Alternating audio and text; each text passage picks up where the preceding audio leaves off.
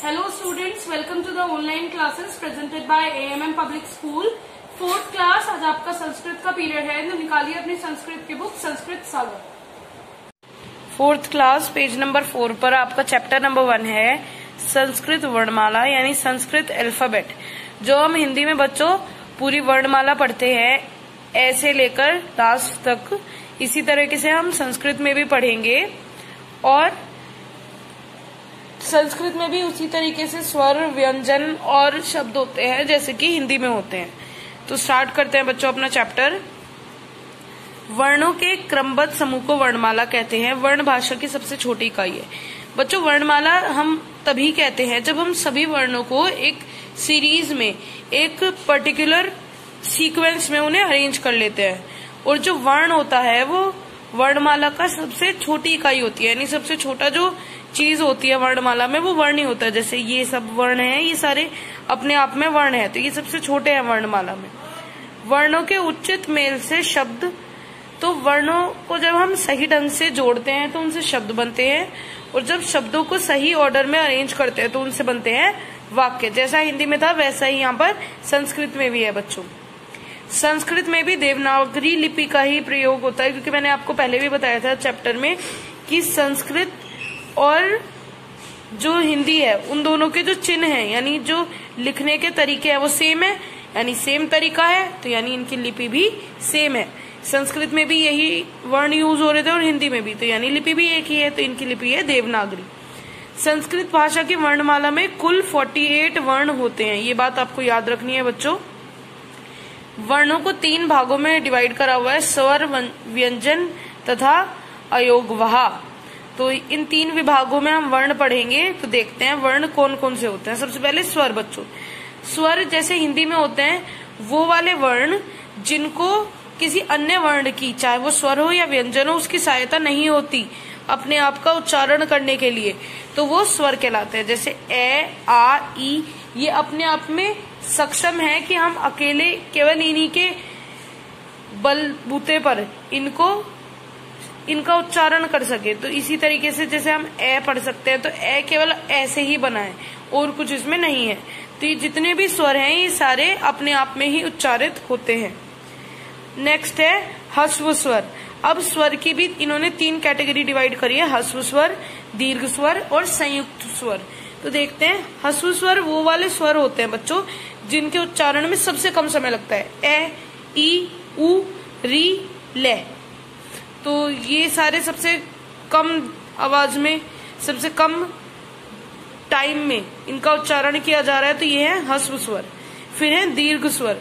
वो स्वर जिनके उच्चारण में हस्व स्वर से दो गुना टाइम लग रहा है, जैसे ए जो आ है, उसमें दो बार ए है तो ये क्या बन गया? आ, ई, उ, र। तो इनमें डबल टाइम लगा इनसे, ठीक है बच्चों? तो जो जिनमें कम टाइम लगा वो हस्व जिनमें डबल टाइम लगा वो दीर्घ दीर्घ यानी बड़ा। फिर है संयुक्त स्वर।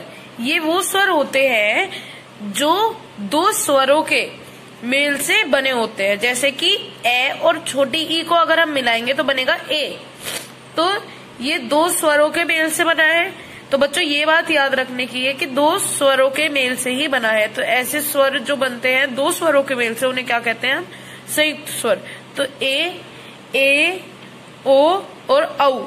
ये चारों ही संयुक्त स्वर हैं और आपको याद रखना है कौन से स्वरों, कौन से वर्णों के मेल से बने हैं। अब बात करते हैं व्यंजन की, जिन्हें हम कॉन्सोनेंट्स कहते हैं। तो वो वर्ण, जिनका उच्चारण स्वर वर्णों के सहायता के बिना नहीं हो सकता, उन्हें व्यंजन कहते हैं, जैसे कै। इसमें आधा तो कै शामिल है और इसमें ए शामिल है। तो ये स्वर के साथ जब इसका उच्चारण किया जाता है, तभी इसका सही उच्चारण हो पाता है। तो ऐसे वर्ण जिनका उच्चारण किसी स्वर के साथ ही किया जाए, उन्हें क्या कहते हैं हम? व्यंजन। याद रखेंगे आप। तो जो ये 25 है, ये है स्पर्श व्यंजन। जो लास्ट सेकंड रो है, उन्हें कहते हैं अंत स्थ व्यंजन। और जो लास्ट रो है, बिल्कुल उसे कहते हैं उष्म व्यंजन। तो याद रखेंगे आप कौन कौन से व्यंजन कितने कितने होते हैं और इन सबको एक बार रीड आउट करेंगे। अयोगवाह यानी इम्प्रॉपर लेटर तो अंग और अणह, वर्णों का स्वतंत्र अस्तित्व होता है। ये ना तो स्वर होते हैं और ना ही पूरी तरह से व्यंजन होते हैं। तो इन दोनों वर्णों को हम अयोगवाह कहते हैं। यानी इम्प्रॉपर ना तो स्वर है, ना ये व्यंजन है। अंग और अण है तो ये बात भी याद रखेंगे बच्चों आप। नेक्स्ट है व्यंजनों में स्वरों का योग। तो बच्चों, अभी जो हमने व्यंजन पढ़े थे, उनमें जो हमने स्वरों का योग किया था, इन सारे व्यंजन में केवल ए, स्वर का यूज़ हुआ है। लेकिन अब हम इन व्यंजनों के साथ अलग अलग स्वर जब जोड़ेंगे तो हमें अलग अलग चीज़ें मिलती हैं। और वो जो अलग अलग चीज़ें मिलती हैं, उन्हें हम क्या कहते हैं? मात्रा कहते हैं। जैसे कि जब हमने आधा कै में, कै पर हलनते यानी आधा कै तो आधे कै के साथ जब ए जोड़ा गया यानी ये तो सिंपल था तो वो कै बन गया, संपूर्ण कै बन गया। तो वो एक अपना संपूर्ण व्यंजन बन गया। लेकिन जब आधे कै में हमने छोटा ऊ जोड़ा तो उस पर छोटे ऊ की मात्रा आ गई, कु बन गया वो। जब कै के साथ ए जोड़ा तो वो के बन गया। तो इसी तरीके से हम जब अलग अलग व्यंजन जोड़ेंगे अलग अलग स्वरों के साथ। तो अलग अलग हमें मात्रा मिलेंगी जो ये यहाँ पर दी हुई है। और ये तो केवल कै के साथ दी हुई है। हम अलग अलग व्यंजनों, वर्णों के साथ जोड़ेंगे जब तो अलग अलग मात्रा भी मिलती है। अब बच्चों, ये है कुछ इम्पोर्टेंट पॉइंट्स जो ये आपको अपने आप पढ़ने हैं। जैसे कि ए आए और अंग। की मात्राएँ सदैव वर्ण के ऊपर लगाई जाती है। ये मात्रा वर्ण की खड़ी रेखा या ऊपर छोटी सी रेखा से मिलाकर लगाई जाती है। यानी ये तीनों जो मात्रा लगेंगी हमेशा, ये हमेशा कहाँ लगेंगी? जो वर्ण है हमारा, उसके ऊपर की साइड लगेंगी। तो ये सारे इसी तरीके के पॉइंट्स हैं। बच्चों, आपको ये रीड आउट करने हैं। उसके बाद जो एक्सरसाइज है, वो आपको फिल करनी है। क्वेश्चन आंसर क्वेश्चन आंसर्स आप नोटबुक में करेंगे।